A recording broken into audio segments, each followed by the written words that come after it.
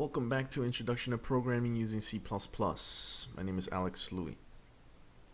Today we're going to talk about if statements. Uh, specifically, I'm going to go over the one-way if. Next few videos, we're going to go over two-way ifs, ifs, extended ifs, if else, and how they react. In this particular code example, what I've done is I've declared two variables value 1, value 2 of integer value, of integer type. So how does an if statement behave? Well, the if statement will have this as something called a conditional expression. So whatever you put between these parentheses must always return one of two values. It's either going to return a true or it's going to return a false. If you don't know how to evaluate relational expressions or logical expressions or a mix, please go to my videos on relational operators and logical operators.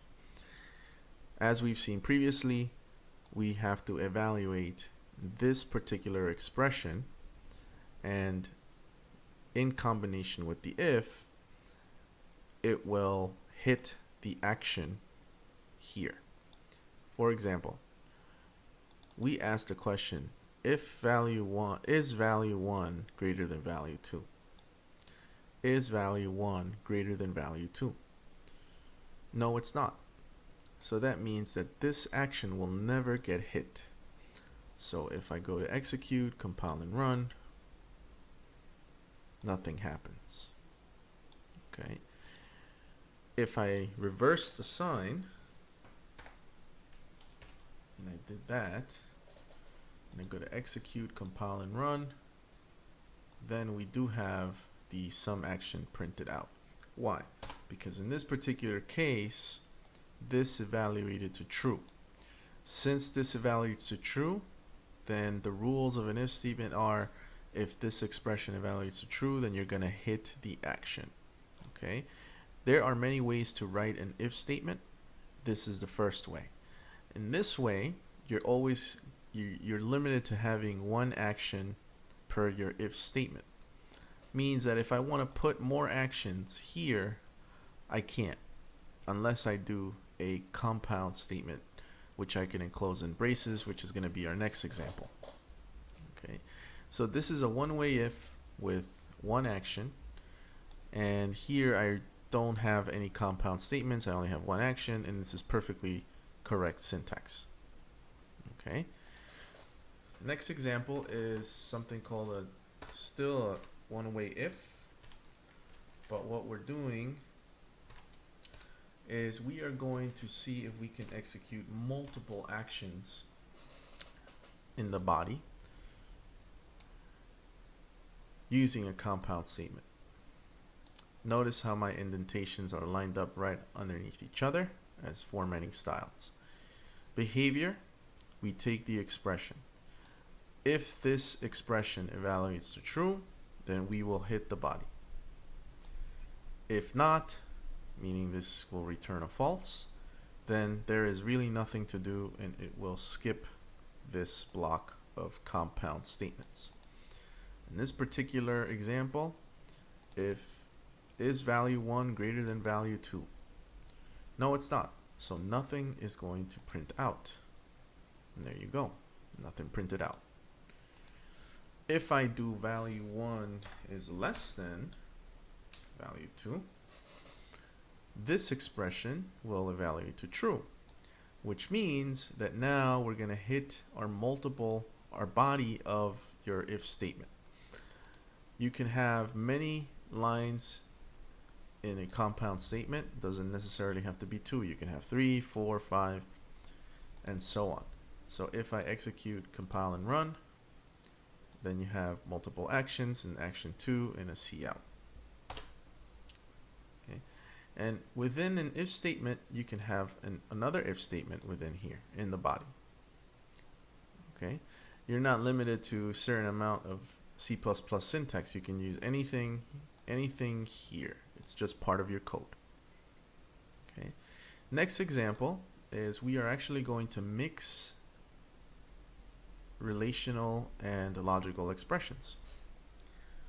in the actual if expression section of the if statement.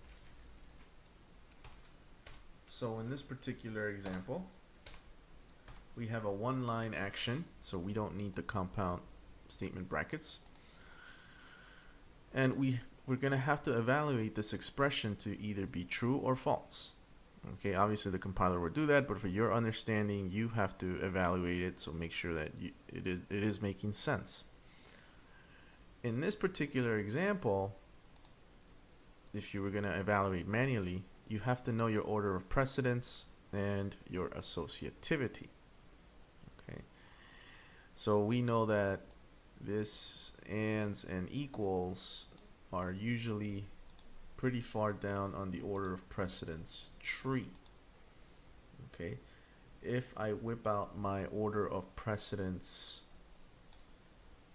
um, paper, okay, and this goes back to the previous lectures that I've had on relational operators, we can see that the first thing that should get evaluated is the greater than. And then after the greater than, you're going to have the equal to and then the and, according to the precedence here. So if we're going to do the relational first, it's going to ask, is value 1 greater than value 2? This will return a false. Next is the is equal to. So is value 1 equal to 10? That's going to return a true. False and true will give you false. Okay. So if I execute this, nothing will actually be printed. Okay. If I flip the sign, however, this should actually print out some action. And there we go.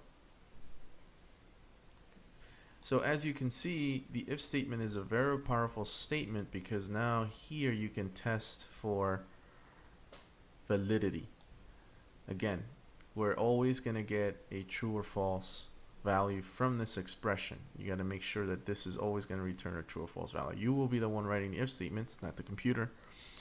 And when you write your if statements, you got to make sure that whatever expression you write in here is eventually going to return a true or false value because if it returns a true, it will evaluate and hit the body.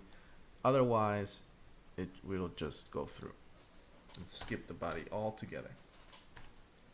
Next example is a mix of arithmetic and logical expressions. Now, even though I have an arithmetic expression here, because of this expressions, it will eventually evaluate to a true or false value. Okay? It will eventually evaluate to a true or false value. So if I was going to evaluate this, again, I have to go back to my order of precedence. Well, who goes first? Well, parentheses actually goes first. So parentheses will get evaluated. Value 2 plus 10, which is 15 plus 10, that'll give you 25. Is 25 greater than or equal to 20?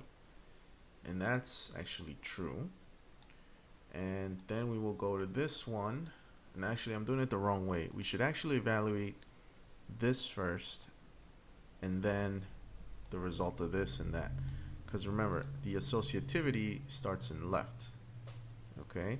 Oh actually no that's not true. They're actually the precedence the precedence of the greater than is greater than the greater than or equal to. So if we were just trying to figure out who's getting evaluated first and second we'd actually go into the greater than, this will get evaluated first, and then this will get evaluated second.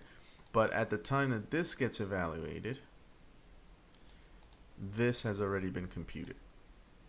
Okay, so is value 1 greater than value 2? That's a false.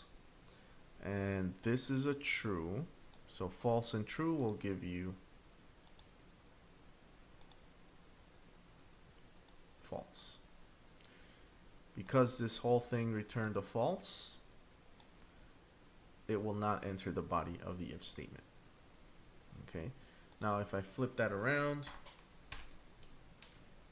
okay, then that should actually hit my compound statement, my body of the if statement. Okay. So the examples here are for a simple one-way if with two ways to write it. One being with just one line of action or two being with multiple lines of action. Remember that if you have multiple lines of action, you have to use compound statement brackets in between the actions. If you have one line of action, then just, just do an indentation uh, right underneath your if statement. Also important point is that remember the expression within your if statement must return a true or a false so you will get a syntax error. Thanks for listening. Hopefully I'll see you in the next video where I where I'm gonna go over uh, two-way ifs.